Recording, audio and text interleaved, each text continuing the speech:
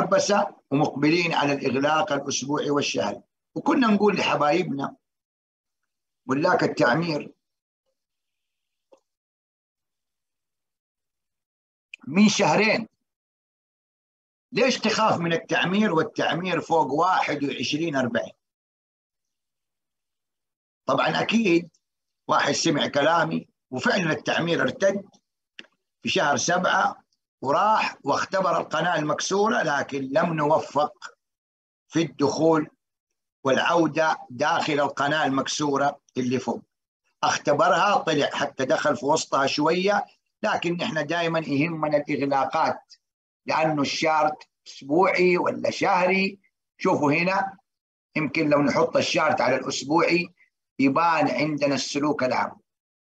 طلع التعمير وجاء. الأسبوع الماضي الندل فتح بقاب داون وكسر هذه القناة.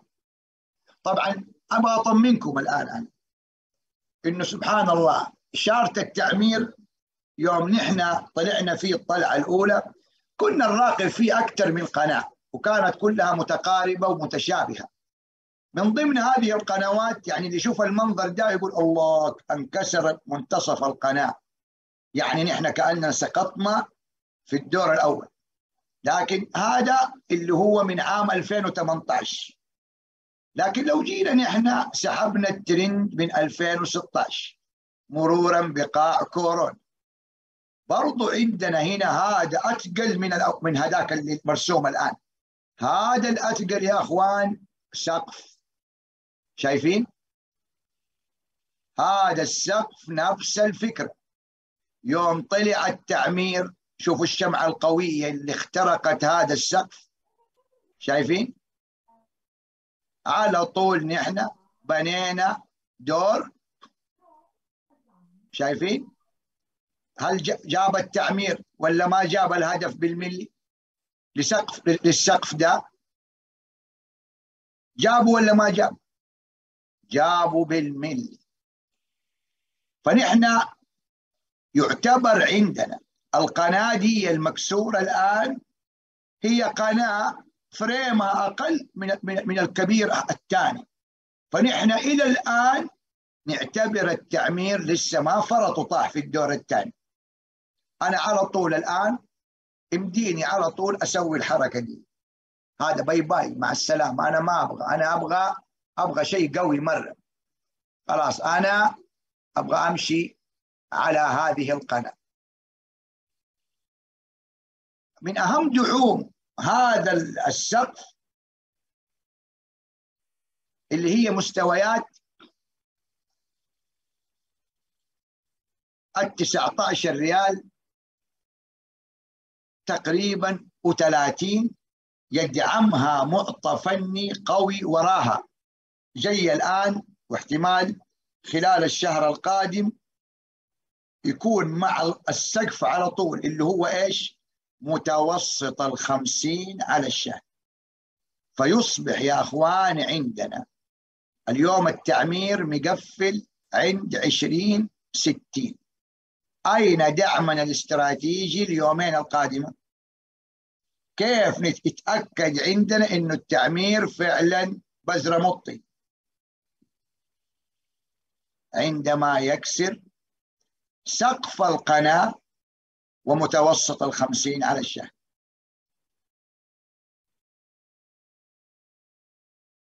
في معطى ثاني إلى الآن تكلمنا عليه المرة الأولى وفعلا أغلق السهم فوقه نحن الآن مقدمين السلبية.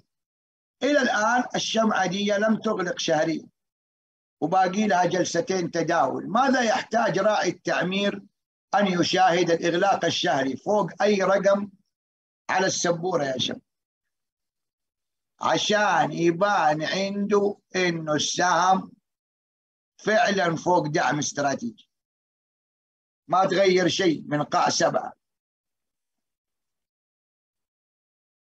إيش فيه هنا؟ الإغلاق فوق 21 40 أحسنت. لأنه من ضمن المعطيات الفنية الاستراتيجية اللي عاصرها التعمير عندما اقتحم السقف اقتحم ال 23 فيبو من 2006 تخيلوا الآن دخلنا في عمليات تصحيح ونزول في التعمير والتعمير إلى يومنا هذا ما عنده إغلاق تحت المنطقة دي. حتى في شهر سبعة كسرها ثم أغلق شهريا فوقها. كم بيننا وبينها؟ يعني صعب على التعمير يطلع 80 هذا الأقل من خم... من 4% خلال جلسة أو جلستين؟ فننتظر ونشوف. وإذا ما تبغى تنتظر أنت غصبا عنك تبغى تنتظر لأنه دعمك الآن قدام عينك واضح دعم القناة لأنه أنت لو تبغى تنسحب خوفا من التعمير التعمير أساسا ظهره مسنود قلنا بهذا السقف وبمتوسط الخمسين. حلو الكلام؟ هذا بس رسالة تطمين لمين؟ لملاك التعمير وبما أننا فتحنا سيرة زي كده أكيد نبغى نستأنس. طالما إنه هذا هذه القناة هي المعتمدة وطالما هذا المتوسط هو المعتمد طيب لماذا ما نبحث عن تصحيح الفيبو فلو سحبنا الفيبو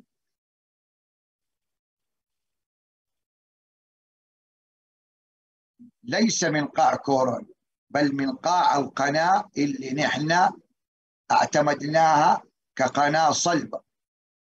سبق للتعمير عندما اقترحمها دخل في شمن كحل وانشكاح من عيار ثقيل.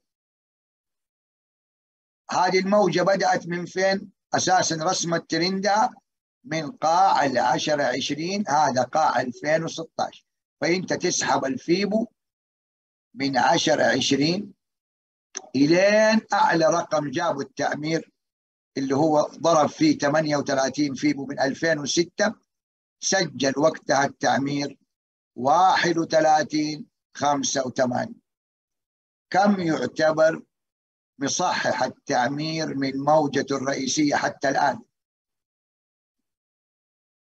أرتد في الشهر سبعة من تصحيح خمسين في نصف الموج وأيضا لا يوجد عندنا إغلاق تحت الخمسين فيه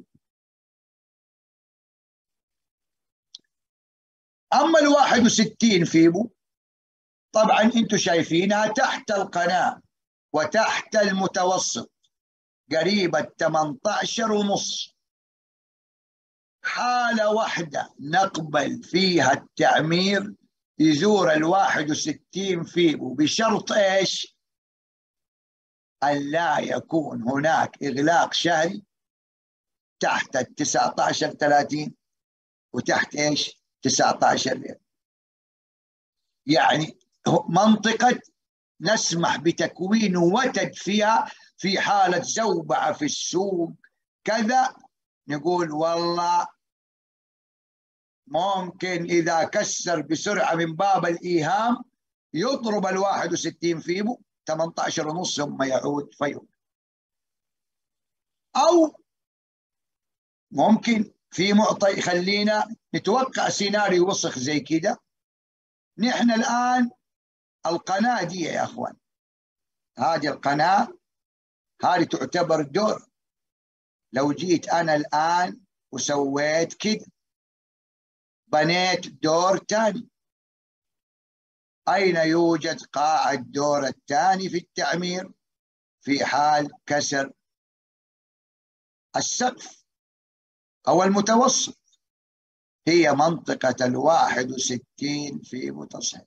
فلذلك احتمالية كبيرة إنه لو أراد التعمير أن يستغل زوبعة من زوابع السوق فيسقط فيوهمنا على على فريم يومي إنه كسر السقف فنحن ما ما حنعترف بالكسر على اليوم. ولا حنعترف على اليوم بكسر الخمسين. اللي يخلينا نعترف على اليومي بوضع سلبي زي كده لو كانت قناة قناة زي هذه مكسورة على اليومي أو متوسط يومي أو كذا. لكن شوفوا المنطقة دي قديش يا أخوان منطقة ثقيلة استراتيجية. وبصراحة التعمير يا أخوان من الشركات العقارية التي تكاد بلغة الأرقام يوم تدخل حتى تقلب الآن في التطوير هو أفضل سهم على الإطلاق حتى من حيث العوائد ومكرر الربحية وأعتقد إنه تصحيح موجة استراتيجية زي هذه تكون أبعادها أقصى شيء 18 50 19 ريال. أعتقد إنها مثالية وطبيعية وحرام أكثر من كده لأنه أكثر من كده أنا أشوف لا فنيا يعني فنيا حيخرب. ولكن المؤشرات المالية مرة ما هي حقت يعني السهم سهم قوي سهم عوائد ما هو سهم عادي. أنتم تعرفوا توسيعات التعمير وش يعطي التعمير كل سنة وسبق له أكثر من سنة رفع رأس ماله بحقوق أو بمنح مو حقوق أولوية منح. فكان يمنح ما شاء الله. فهي شركة من شركات النمو. واضح تحليل التعمير؟ طيب سؤال يا أخوان. بعد ما شرحنا الآن وضعنا أسوأ التبعات في فريم التعمير. واعتبر يعتبر هذا الشرح مساعد للجميع. مساعد اللي يبغى يشتري معناه هو عارف من فين يبغى يستغل. أي ظروف؟ لاقتناص السهم والدخول في تحدي مع المضارب ومزاحمته. واللي متعلق في السهم عارف الأبعاد فين ممكن لا قدر الله يكون تكسير العظام ويتحمل لفين وفين ممكن يعدي. لكن السؤال الآن متى يصبح التعمير سهم إيجابي مبدئيا في الظروف الحالية. ما هي أشنع مقاومة؟ إن طلع التعمير تخطاها قلنا التعمير طار وممكن يروح 27 وممكن يروح حتى 29 كمان واضحة ولا ما هي واضحة؟ عندكم الأرقام؟ الله ينور عليك يا أبو دان. أنا خلاص كده. إيه. كده أكون أنا قد أنهيت تحليل الاستراتيجي للسهم. لذلك لما يحصل ارتدادات يا أخوان في السوق ويصادف إنه التعمير صار هنا. هل هذه منطقة دخول؟ شوفوا نحن قلنا لكم فين منطقة التعديل في أسوأ الظروف والمناوله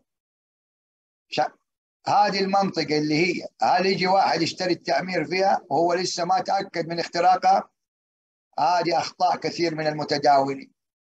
ما يعرف يدخل في السهم هو أخضر. ويبيع السهم هو أحمر. واحتمال يبيعه أحمر وهو في قاع قناة. واحتمال يشتري السهم وهو في منطقة محك زي كده فسبحان الله اللون الأخضر يغري. ويكون السهم يقعد فترة من الزمن هو مشتريه في هذا المحور. السهم مو ضروري إنه يضرب ويطيح بسرعة بس هو يقول لك ندخل نتعشم. فجأة يلاقي لا قدر السهم يعدي ولف الطاره فيه.